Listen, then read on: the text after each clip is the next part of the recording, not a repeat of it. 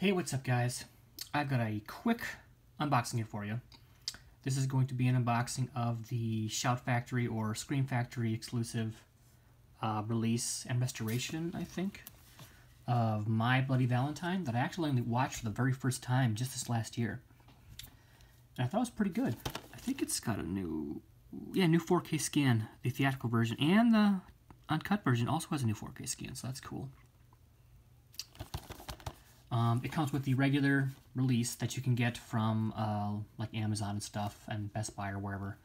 But I ordered from the website uh, Shout Factory, and uh, that edition came with a separate slipcover.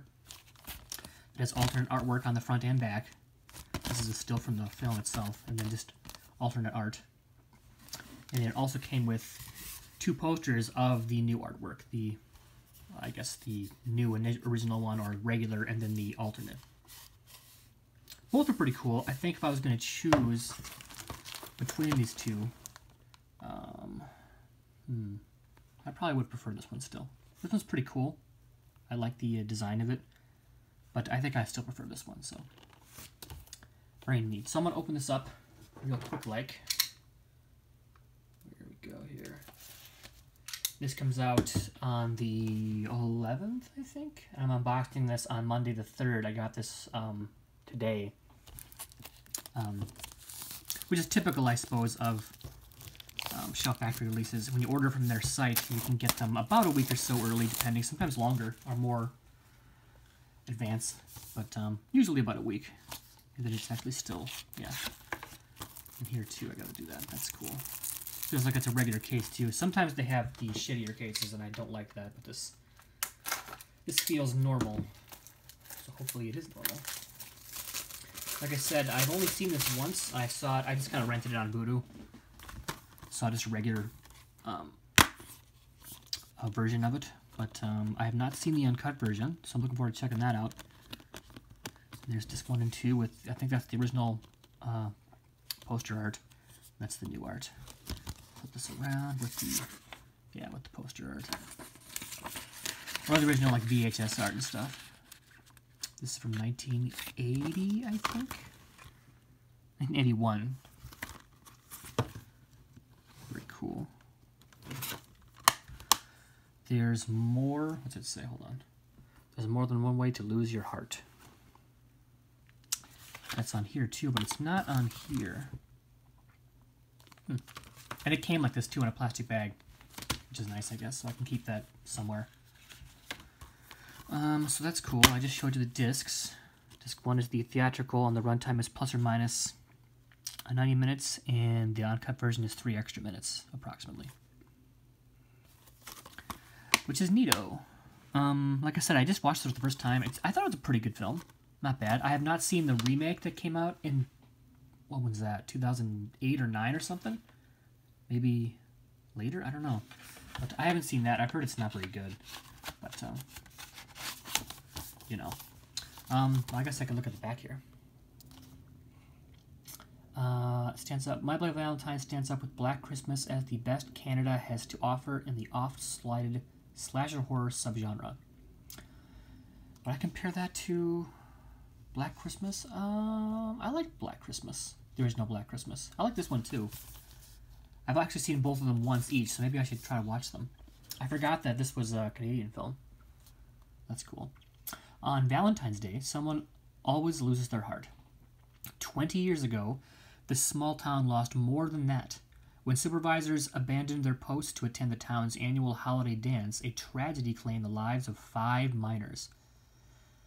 The sole survivor, Harry Warden, was institutionalized but returned for a vengeful massacre on the disaster's first anniversary. Nineteen years later, the town is gearing up for another Valentine's Day party. Teen sweethearts TJ and Sarah, along with their friend Axel, are among the excited partygoers.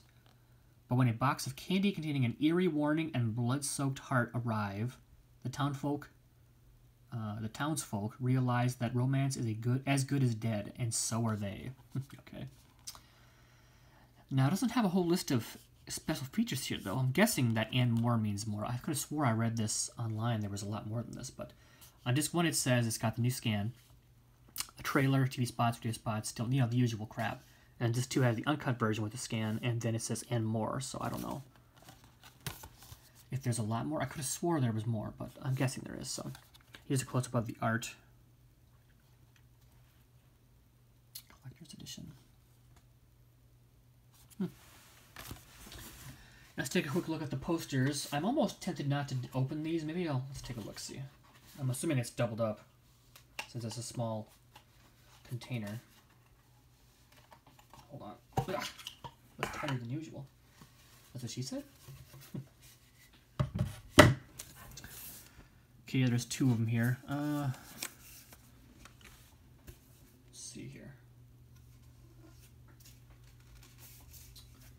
I like to keep this piece of paper they've got on here to. Uh, hold on. I like to keep that so I can use it later after I'm done with this. Come on now. Looks like it's sticking. What are you doing here? Oh, it's it's kind of inside here too, so I gotta try to get this without. It's being a bit. Come on now. I'm gonna have to fucking rip it, aren't I? All right. Did not want to do that, but I guess I'll have to.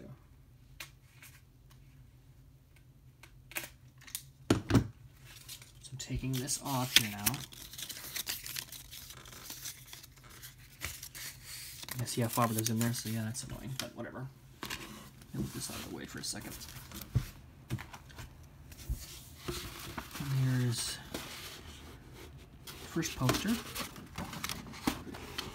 Nice, I like that. I like that new art. My Bloody Valentine.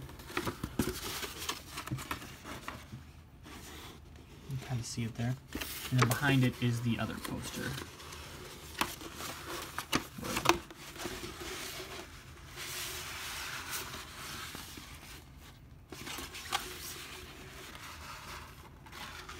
Not bad. Too big here, I can't show how big yet, but you get the idea. It's the same exact image as the um the two um well two slip covers here. So anyway, that's it guys. Thanks for watching. It's kind of a quick one, and like I said, I can't talk too much about it because there's not a whole, there's not more special features listed here, but I could have swore there's more. I'll bet um I'll bet there's more, but uh, for whatever reason it's not listed here. But anyway, thank you for watching. This has been fun, and I guess I'll see you again for more stuff. I don't know what else is coming out in February. Um, a couple things. I can't think of anything specifically, so I guess we'll see. So until next time, uh, keep uh, watching horror movies and having fun, I guess. Buy as much as you want. I'm trying to buy less than I used to, but uh, still got to catch up on some of the Scream Factory stuff. So thanks for watching, guys, and I will see you again in the future. So see you later. Bye.